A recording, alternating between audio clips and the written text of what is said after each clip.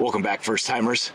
We're back to a location that we've been to before, but this time we're not just walking the pier, we're fishing the pier. Today we're fishing off Island Pier located on Okaloosa Island. Formerly known as the Okaloosa Island Pier. And we're ready to catch a big old fish. And if we catch anything, we're gonna take it right next door to anglers who will prep the fish, cook it, and give us two sides for $13.99 a pound. I don't think we're gonna catch anything, but we'll see.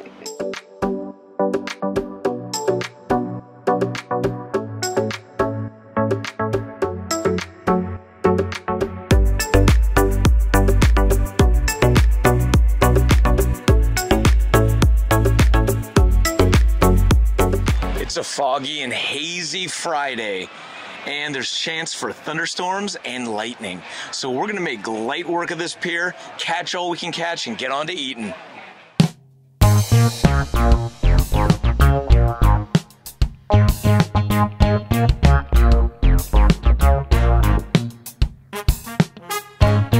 We made it through the instruction portion of this party. We have our reels, we have our bait, we have our hooks. But there's a lot to cover. so I'm going to try and summarize it so you guys get all the details. Shark fishing is completely illegal in this county. So if you hook a shark, you got to let the line break and the shark go away. No shark fishing here. Also, stingrays. If you hook a stingray, they're not going to help you get it up to the pier. You're going to have to walk it out to the beach and then beach it yourself. So really, essentially, you're gonna wanna let those ones go also. If there's something big, you can go get help and they'll bring a net and they'll help you bring it up. If it's small enough, you do it yourself. So they have everything you need here to go fishing. You just got to pay for it. They have the reels, the rods, the bait. For us to fish, it was $8 per person, and then it was $30 to rent a rod per person. Then the bait was $6 for the shrimp. And if you break a line or lose a hook, you get two free replacements while you're fishing. They also offer military discount, and if you just want to walk and watch, it's like $2. We're gonna bait these hooks, get them in the water, and see if we can catch anything. If you're looking for a pier walking tour, then we'll link that video right here where we walk this pier. We gave you a history of it, background. We also checked out the area over here at the boardwalk. But today is not the day for that. We are out here searching for the big one. We're hoping to capture never before seen sea creatures and then eat them. Beware of the birds because they're known to steal your bait. You don't want that. Not at $6 a pop. Got my fishing pole, got to untangle it, bait it, we're ready to go. If you walk all the way to the end of the pier where the octagon is, just beware that you cannot fish off the bottom there. So we came a little bit further back so we could try and fish off the bottom. Step one, untangled. Step two, I think, is bait it. The instructions that they gave were to rip the head off, Ew, ew, ew. throw the head in the water like Oh. a grenade, and then split the tail in half, and then use only half the tail. These are pretty frozen solid. Oh, all right, head came off. Perfect. Just what I needed. I'm gonna split this in half. Start with the big portion. I don't know how to bait a hook. I feel like it can't be that difficult, right? Famous last words.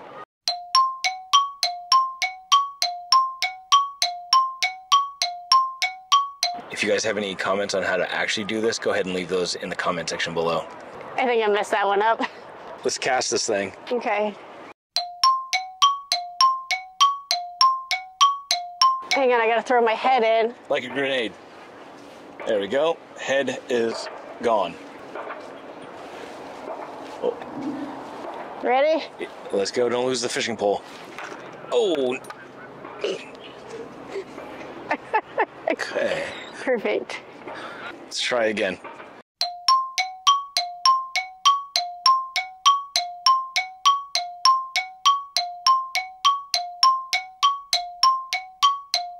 Take number two. All right. Now what?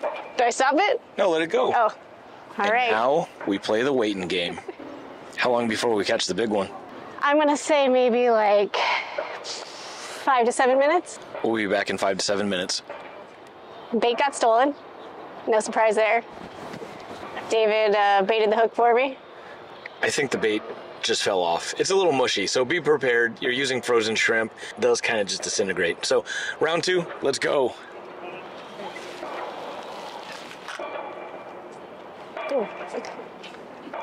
Where did it go? I have no idea. Oh, it's right in front of you. Oh. Pull up a little bit. Oh, good. At least the bait held on. Yeah.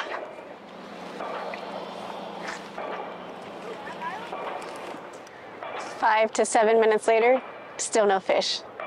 It's already been like 35 minutes. We didn't show you all the times we put bait back on, but we're still very optimistic and hopeful that we're going to be leaving here champions. Or we're going to have to just go to a restaurant and buy food that we didn't catch. But it's not over yet. You might be out here fishing for a while, so it's good to know at the end of the pier there are multiple restrooms. I think I failed to mention that your rental is good for all day. So we have these reels and rod until 9 o'clock tonight when the pier closes. We are definitely not going to be here that long. If you come early and you want to fish all day, for the one price, you have that ability. Terry might have something. I think it. I think it took the bait. something massive. Oh, is it gone? No, it might still be there. I feel something tugging. What could it be? Oh. Oh, come on. Look at that. I got nothing. Yay! No, something was tugging on it. Yeah? Yeah. Surprise, surprise. We're calling it a day. We fished intensely for about an hour and a half, maybe an hour and 45 minutes. The storm is brewing. Uh, storm warning coming in right now. Lightning, rain. We got to get out of here. So we did all we could. We caught nothing. So what does that mean? So we're not doing cook your catch. We are not going to go to Anglers today because we are going to cook our catch and check that place out because it's known for having a great view. But right now, I can't even see two, three feet in front of me. So we're skipping Anglers. We're going to another local award winning seafood restaurant just right across the bridge in Fort Walton Beach. We'll see you there.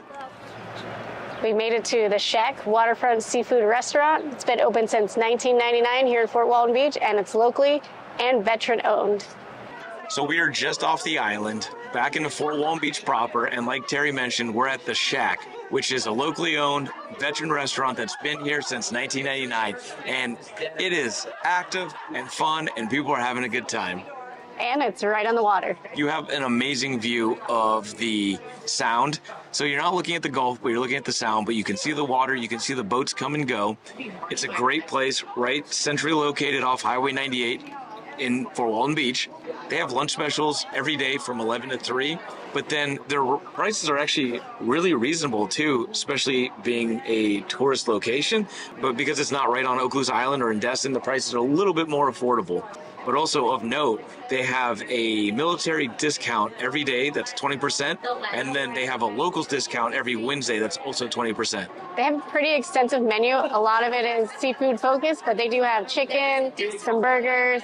Looks like they have a full bar. We're starting with the tuna dip because that was highly recommended by our server, and I love tuna dip. If you guys watched the video where we were in Destin for the the boat parade, you'll know that I ate probably four pounds of tuna dip. I'm hoping it's as good as the tuna dip we had at the Edge Seafood, and then we're gonna try some of the other specialties while we're here. I'm so excited. The tuna dip has arrived. You have not just the tuna dip, but they have tomatoes, onions, huge slices of cucumber, and then crackers for dipping. So I'm gonna dive right in. Terry, hold the mic. He's building his perfect bite. Little onion, tomato. I'm gonna save the cucumber. You know what? No, I'm not.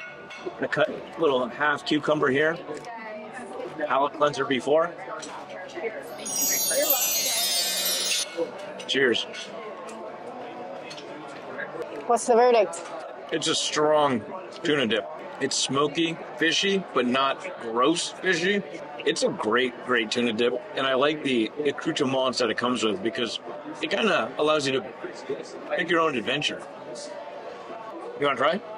Yeah. Yeah, load it up. Going cucumber heavy. She's taking a bite. She's processing the flavors and the textures. That's pretty good. That's not bad. All right, let's wait for the entrees to show up. Food came out fast. Super fast. and hot. Hot and fast. like I like my food. I went with the lobster and crab cakes, and that came with a side, and I went with the coleslaw. I got the chicken tacos. It also came with a side, and I got the fries, which are kind of unique. They look like steak fries, but they're thin. Those look bomb. I Better, can't wait. better start with that. It is a super thin steak fry. I don't like steak fries because they're so thick and fluffy. This just solved all my problems. Hmm. They're seasoned nicely too. Side for mine was the coleslaw, and it's like a pretty pepper heavy coleslaw, which I like. And uh, got a heaping bowl of this. Mmm. Wow. You gotta try that. That's delicious. Luckily, I got my own sample right here. That's really good coleslaw. It's a there's a little spice to it, but the flavor's amazing. Would recommend the coleslaw. It's really unique. Oh, it is. It is spicy. Yeah. My sandwich comes with uh, a remoulade. Ooh. Little Old Bay, little all the things. It's quite the sandwich you got there. Dang. Can you fit that in your mouth? You can. I might not be able to. That's thick and meaty. Getting hit with a lobster. Just breading, but it's seasoned really well. Crispy on the outsides, packed with flavor. Time for Okay. Terry's taco adventure. Pull up my sleeves for my taco taco time. Mine also has a remoulade on it. It's got chicken, lettuce, onion, tomato, and I believe some pineapple salsa. Ooh, I love pineapple salsa. It's extremely colorful, vibrant. Mm. If the flavor is only half as good as it looks, it has to be pretty good. It's really good. There's a lot of chicken on there. It's a little spicy. Yeah? I think it's the remoulade, maybe. Let me try. I need this in my life. pineapple's really fresh. Some cumin in there. Mm-hmm. That's pretty good taco. If it was shrimp, I'd be all in. I think they might have that option. If you like this video, check out this video right here, where we checked out a bunch of fun places here in Fort Walton Beach to pass your time on a rainy day. So thanks again for following along in this episode and join us next time when we try something else new for the first time. Don't forget to like, comment, and subscribe. First timers. Five. She felt a couple nibbles. She gave it a yank-a-doodle and got nothing. Redfish, tuna, Bluefish, greenfish, one fish, two fish. all the fish.